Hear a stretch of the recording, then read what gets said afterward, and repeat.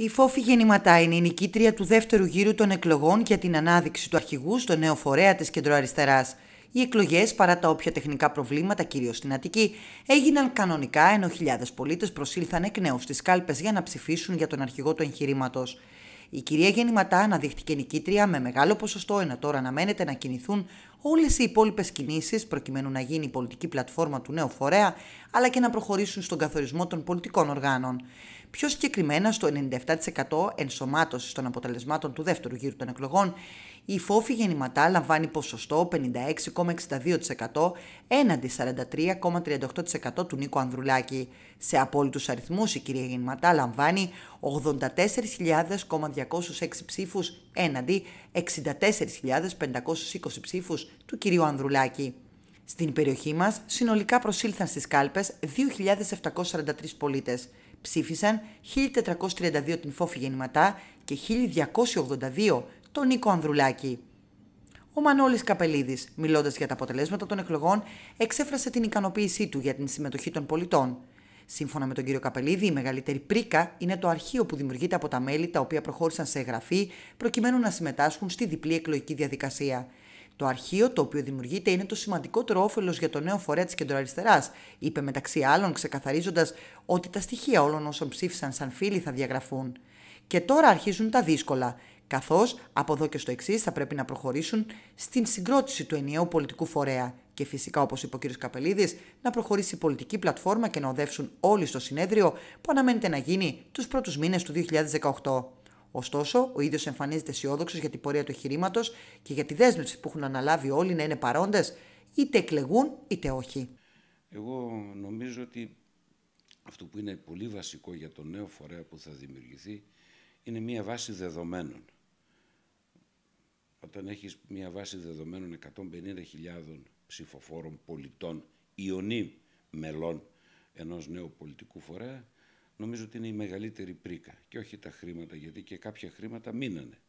Έτσι, γιατί όπως ξέρετε, περίπου 300.000 κόστησε αυτό το εγχείρημα, το ποσό που μαζεύτηκε με βάση τις συμμετοχές της πρώτης Κυριακής ήταν σχεδόν διπλάσιο και μπορεί και λίγο παραπάνω.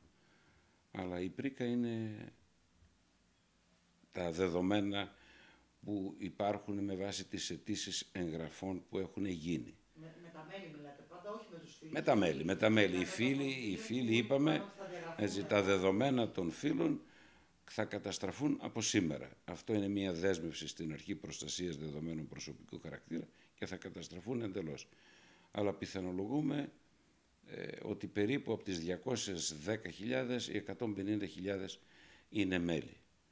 Αυτό είναι ένα εξαιρετικό ε, αρχείο στο οποίο μπορεί να απευθυνθεί πια ο νέος φορέας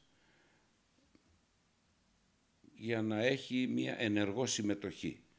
Και στα Γιάννενα πήγαμε πολύ καλά, δηλαδή βεβαίως στα Γιάννενα ψηφίσαν 2.743 συμπολίτες μας από τους 3.488 που είχαν ψηφίσει την πρώτη Κυριακή και πήρανε συνολικά 1.482 ψήφους πήρε η κυρία Γεννηματά και 1.282 ψήφους ε, πήρε ο κύριος Ανδρουλάκης. Μικρή η διαφορά, ε, νομίζω ότι είναι ένα εξαιρετικό ποσοστό και για τους δύο. Το ποσοστό της νικήτριας των εκλογών αυτών δεν αμφισβητείται, είναι πολύ μεγάλη η διαφορά. Ε, και από εδώ και πέρα βεβαίως αρχίζουν τα πιο δύσκολα ε, κατά την άποψή μου, η συγκρότηση του φορέα. Είναι ένα εγχείρημα, όπως είπα και στην αρχή, πολύ δύσκολο πολιτικά και το στίχημα θα κρυθεί από εδώ και πέρα. Ναι, πάντως όλοι έχουν στείλει τα μηνύματα περί ενότητας, ότι θα κρατηθεί η ενότητα, ότι θα συμμετάσχουν, θα μείνουν στο φορέα. Μένει βέβαια να δούμε το τελικό γίγνεσθε. Είναι, κοιτάξτε, είναι προφανές ότι είχαμε την εισαγωγή ή τον πρόλογο οι εκλογές ήταν η εισαγωγή ή ο πρόλογος. Τώρα μπαίνουμε στο κυρίως θέμα και στο κυρίως θέμα είναι πραγματικά τα δύσκολα. Το συνέδριο που θα πρέπει να γίνει στους πρώτους μήνες του 2018, η πολιτική πλατφόρμα που θα πρέπει να ανεβρεθεί και να υπάρξουν οι συγκλήσεις, το αν δηλαδή θα είναι ένας χώρος πολυκομματικός αν θα είναι ένας χώρος ενιαίου κόμματος πολιτασικός, ε, η πολιτική κατεύθυνση, το πολιτικό στίγμα που πρέπει να δοθεί και από εκεί και πέρα βεβαίως τα όργανα. Δηλαδή έχουμε τον επικεφαλής, θα πρέπει να υπάρξει η Κεντρική Επιτροπή, η Εκτελεστική Επιτροπή, θα δούμε ποιες θα είναι οι ονομασίες, τα λέω εγώ με τις παλιές τετριμένες ονομασίες τα αναφέρω, οι οργανώσεις κατά νομούς, κατά περιφέρειες και ούτω καθεξής. Ε, είμαι αισιόδοξος διότι δεν υπάρχει δεύτερη ευκαιρία. Άπαξ και αυτή η ευκαιρία αποτύχει, πραγματικά αυτός ο χώρος που είναι τεράστιος χώρος και αυτό το είδαμε από τη συμμετοχή, ε, δεν θα μπορεί, δεν θα έχει πολιτική έκφραση.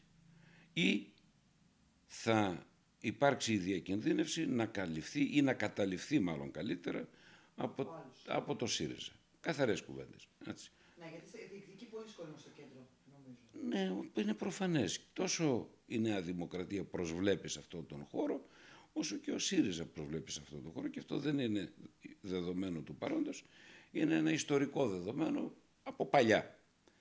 Από τότε δηλαδή που έχουμε κοινοβουλευτική δημοκρατία.